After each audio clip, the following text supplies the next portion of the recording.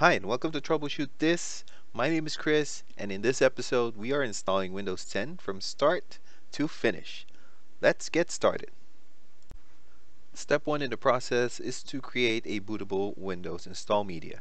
This is a USB drive that we will use to install a fresh copy of Windows onto your system that is having issues with booting, crashing, freezing, and sometimes blue screen errors. Um, if your current system is not functioning properly, you can still do this process on another PC that is booted up and connected to the internet. Here's how to create it. Start by opening up a browser and just type in Windows Media Creation Tool. It's usually the first thing that pops up. And what we want to click on is uh, this one, Create Installation Media Okay. and then Windows 10 select this one here now it will uh, come up with this page here. Um, you don't want to click update now because we want to create a new drive that we will use. So let's click download tool now. Once it's downloaded here click on it. Run the application.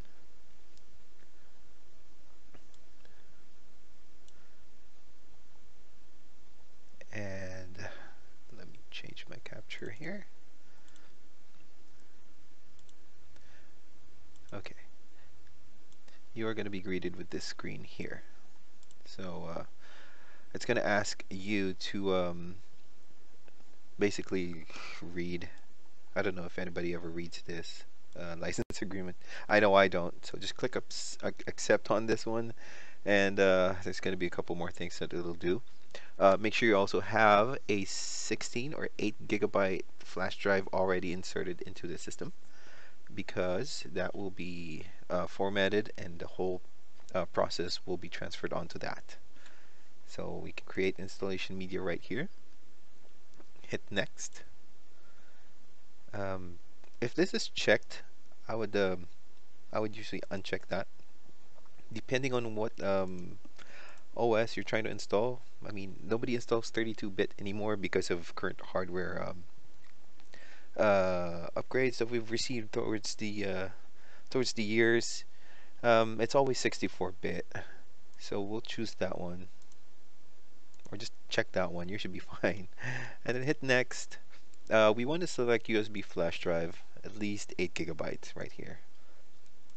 Hit next again.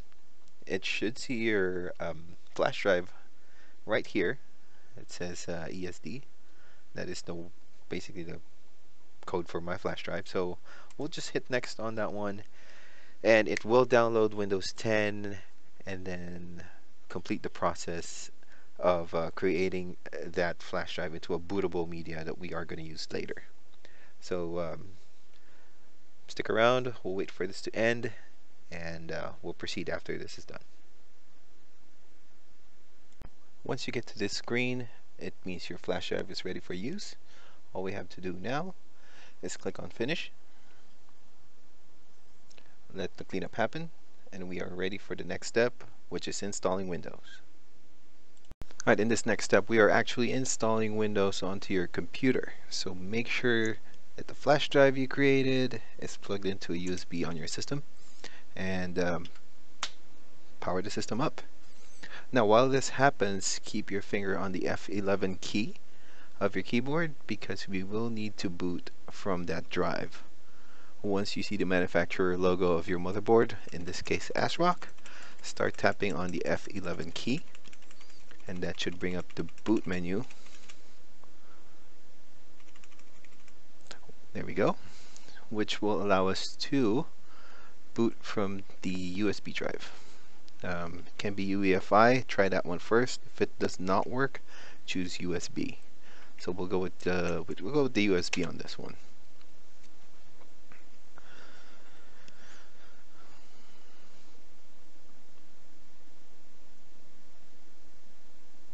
There we go. Windows is starting to load.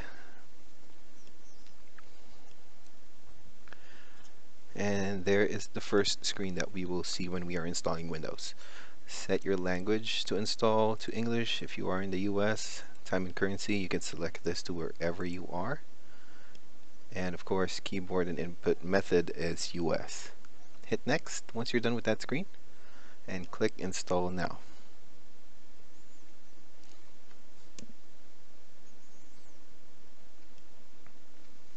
Okay, um, for this activation screen, if you are reinstalling Windows on your system, um, the product key is usually embedded on your motherboard, so there's no need to do this right now. Um, we'll take care of that later. Uh, let's just click on I don't have a product key and select Windows 10 Home because that's the standard uh, operating system installed in most of the systems. It would be x64. Hit next. Once again, if you want to take your time and read the end user license agreement, feel free to do so. And if you feel like you want to accept it, just check on that box and hit next. Okay, this is where uh, some people kind of make the mistake of doing the upgrade versus the custom. What we want to do is click on custom because we will be deleting all these um, partitions in the current hard drive so if it is corrupted, if it if it is having blue screens, we want to get rid of that previous installation. So we'll click on drive 0 partition 1, click delete down here, hit OK. It now becomes an allocated space. Do the same for the rest of the partitions until you end up with one space, uh, one option with the space that your um, current solid state drive or hard drive capacity is on this on this size here hit next and uh, Windows will proceed to install now this uh, this should take anywhere from like five or ten minutes. So we'll come back once it's done. Alright, once we get to the stage, Windows will automatically restart, or you can click Restart Now to make the process a lot faster. Okay, what we're seeing right now is the first boot up of the fresh installation of Windows 10 so there's going to be options here that we will need to check or uncheck depending on uh, your system installation. So stick around and we'll go through it one by one. Hello. Okay we are now in the initial setup of Windows. Like the screen says just a moment and we'll get started on this.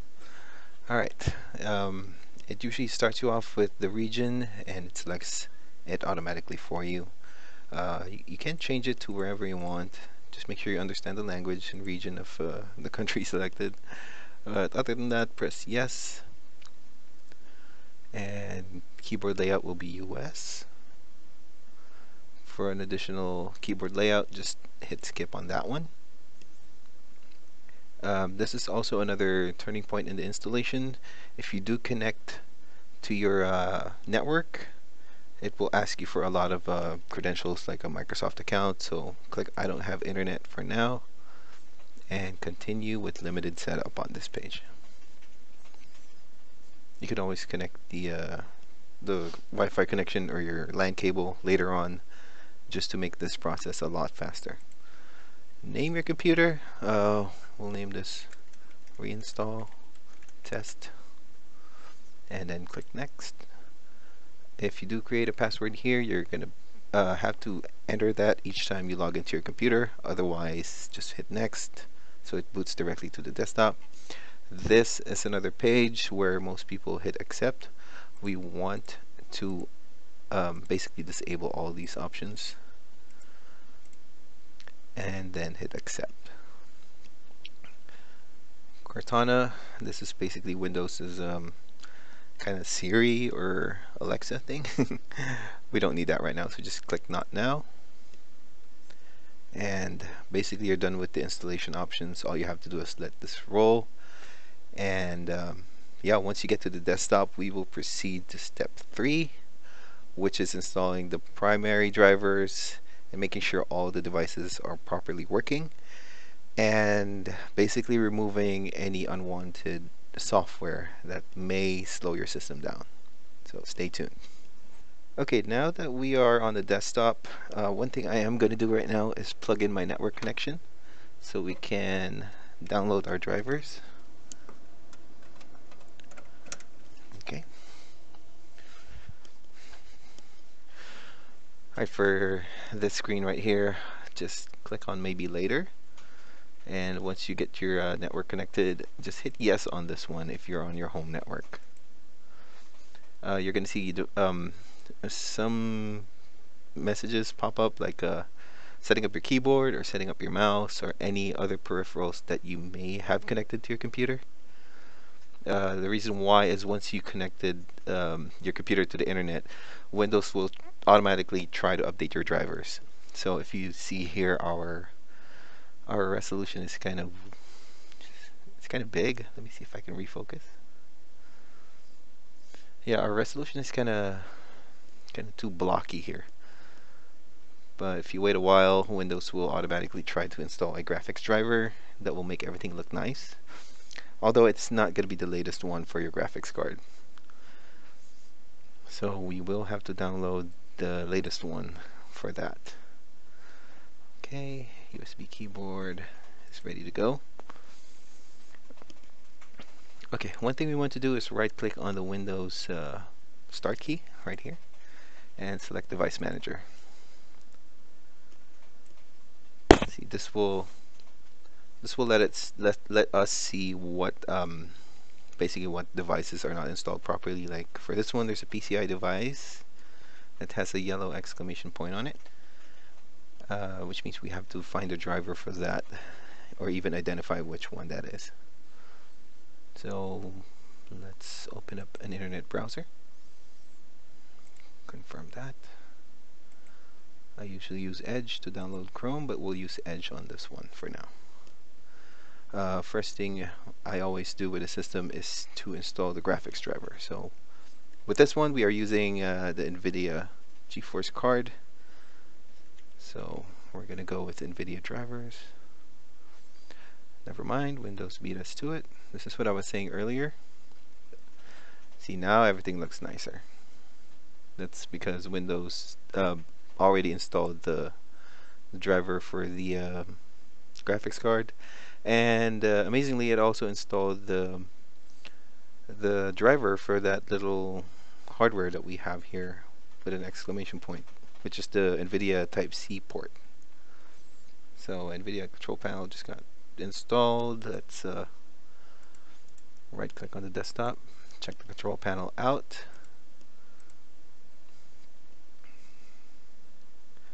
And here we go. So we have a 1660 Super. Um, this is one thing to pay attention to. The version of the driver is 456.71. So if we look up NVIDIA drivers, uh, download drivers here. GeForce, GTX 16, 1660 Super, 1660 Super. There we go. Hit search, and you can see the version here, the one that's installed by Windows, it's a lot older than the latest one here on the website. So the uh, ones installed is 45671. The newest one is 465.89. So that is quite the gap. We want to download that. Hit download. And once the file is ready,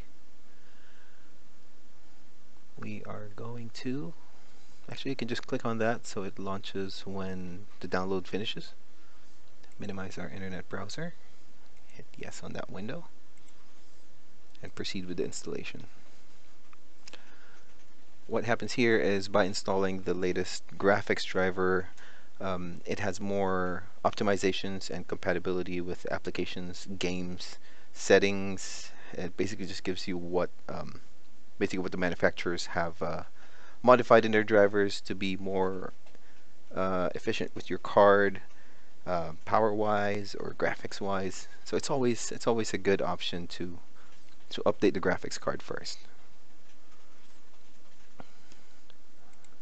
One thing I also want to check and show you guys would be um, privacy was it under settings? Uh, update and security and activation.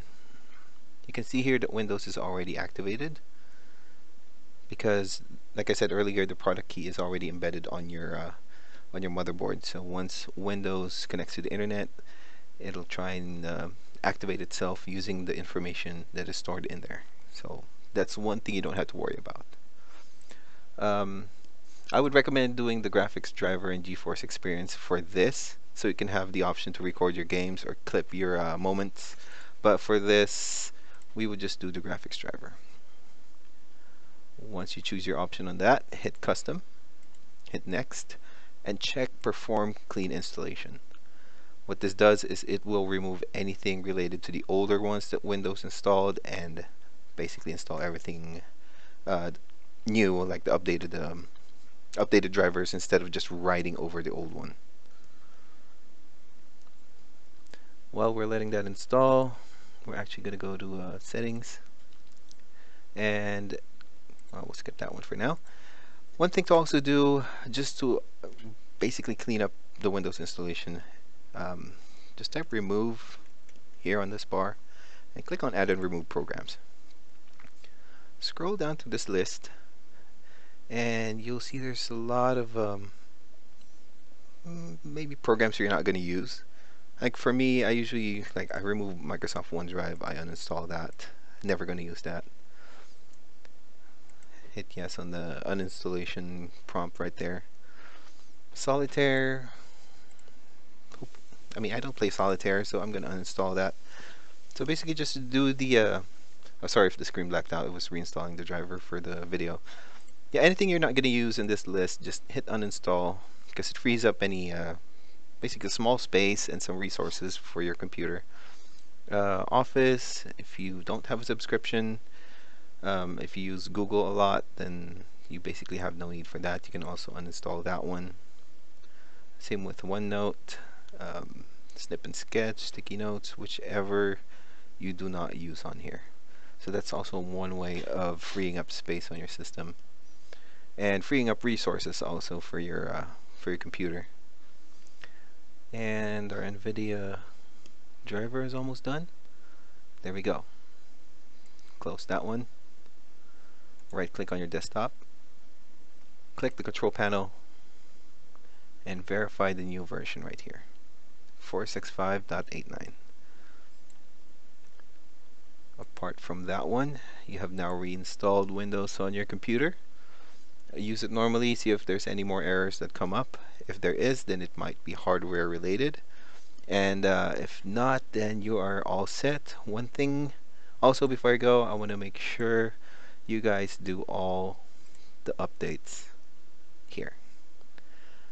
Once Windows starts and connects to the internet, there's going to be a lot of updates that are going to be automatically downloaded. Just hit the install. and uh, basically it's going to upgrade all your drivers and all that to the latest ones depending on which um, uh, which driver needs a more updated driver I guess so yeah like this is like for AMD SMBus uh, more AMD stuff that's probably for the chipset. It is good to always keep it updated. So just let those run. Once you finish all these uh, instead of updates available it's gonna say you're up to date up here. And then you can proceed now with installing your basically games launchers applications and you're all set. Well thank you for joining me on this uh, Windows installation video. I hope it was helpful. Um, like I said we did it from start to finish. And uh, I mean if you like this video hit that like button. Subscribe to the channel. We are going to be making more troubleshooting and guides. And uh, with your support we can all make it possible. So once again, my name is Chris, and we'll see you on the next episode.